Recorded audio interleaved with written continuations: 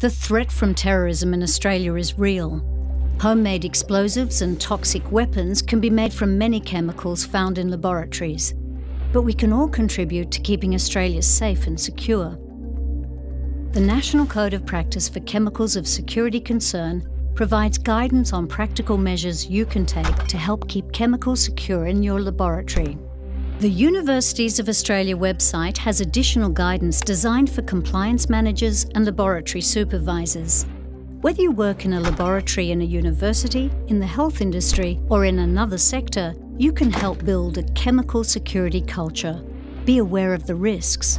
Read the code to know which chemicals in your laboratory could be used to make explosives or a toxic device.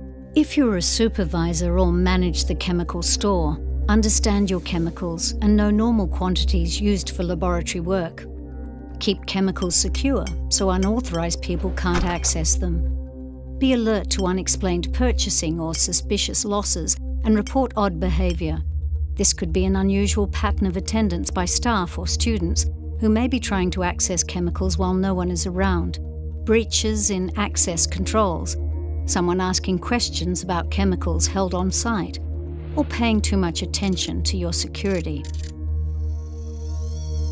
You know your laboratory and you know when something just doesn't feel right. Trust your instincts. Report your concerns to the National Security Hotline. You can help keep dangerous chemicals away from terrorists. Know the chemicals, know the risks, know the code. For a copy of the code, go to nationalsecurity.gov.au slash chemical security.